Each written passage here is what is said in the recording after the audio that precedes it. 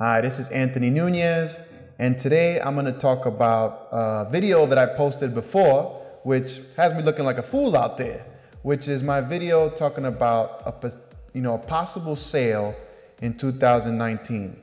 Now, on that video, I explained why I think it might have been a good idea to possibly sell in 2019.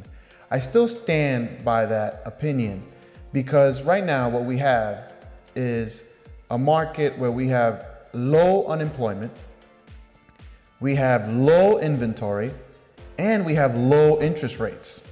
So when you're out there and you're going through the community, you're gonna get a lot of realtors and a lot of mortgage brokers telling you, hey, it's time to buy. The interest rates are super low, right? But it's a little misleading. Here's why. Low interest rates actually benefit the seller the most. Now, you might say, what do you mean? I'm getting a lower interest rate. It should benefit me. You're right. It benefits you in the sense that you're paying less interest. But it also gives you more buying power. Now, just a, a, a fractional change in the interest rate can drastically increase your buying power. So you could be talking about maybe like $40,000 more. But guess what? It's not just you. It's every single buyer who was looking for a home with you. So you don't have a competitive advantage. You actually are given the advantage, you're turning over the advantage to the seller. Now the seller knows that the buyer has more buying power.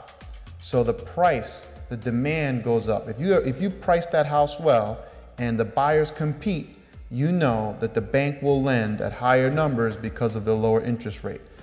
So if you're just selling, let's say you had multiple homes and you're selling and you're selling one of them and you're still keeping the other ones, guess what? You just made a killing, right? Especially if you bought in the 80s where interest rate was, you know, 17, 15, 17% and you've refinanced over the years. This is a great time, by the way, to refinance.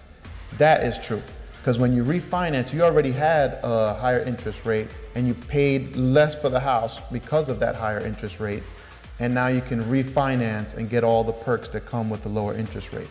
But if you're buying, you know, if you're buying and you're gonna live there, go ahead, buy. But don't be misled by the false advertisement or the misleading advertisement rather that the low interest rate benefits the buyer. It benefits the seller. Because what if they raise the interest rates to 5% in the next year? Who in the world is going to be able to afford your house that you bought with 3.5% when they got to pay 5% interest?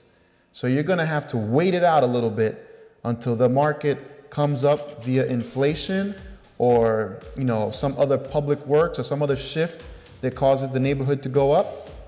Or you're just going to have to wait it out until you've gained enough equity where it makes sense at the new price point.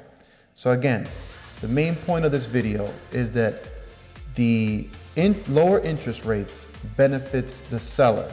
And because of that, I think that it's still a good time to sell because once those interest rates do go up, and they should, they should have gone up earlier this year. Once they do go up, the buying power of the buyers will decrease and thus hinder the price point that you're to be able to sell at.